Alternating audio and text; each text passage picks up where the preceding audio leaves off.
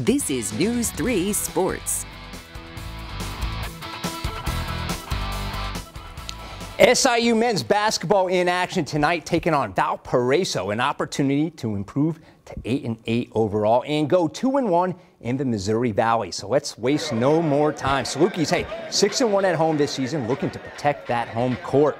Now, SIU fell behind 6 0 out of the gate. Lance Jones, look at that. Love the move. Strong take. He chipped in with eight points. Now, Saluki's got 24 points in the paint. Ronnie Suggs draws the contact, gets it to drop. Hey, Southern got back in the game, not settling for threes. Harlan swat off balance, gets it to go. But the freshman Marcus Domask would put SIU out in front. Hey, he had a game high 23 points, and we'll have a little more on him in just a bit. But Carrington Davis, I love this move. Flexing some muscles, just get out of my way. I want to. Well, sir, you've got it.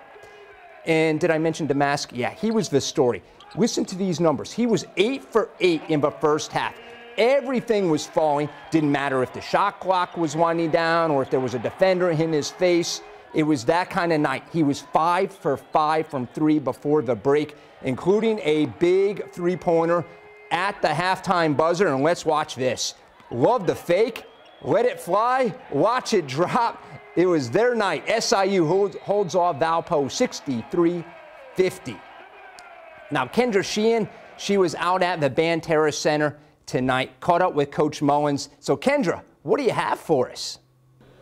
Hey Jason, it was a big crowd here tonight and they were fired up. Marcus Domask brought them to their feet several times. The kid was electric in the first half. He made 21 of the team's 32 total points. And hey, two things that SIU was really trying to work on this game were free throws and rebounds.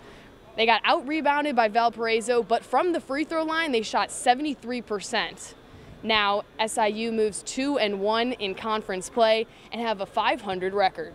I told the guys we can't let up right now. We can't be satisfied. We can't be complacent. We got to play with this type of energy on the road. You know, it doesn't matter, you know, where we play, defense travels. And that's got to be us. We got to, you know, have those, you know, grinded out wins on the road because you never know how you're going to shoot on the road. So, you know, I think our guys are looking forward to the challenge and, and trying to get a road win in the Valley.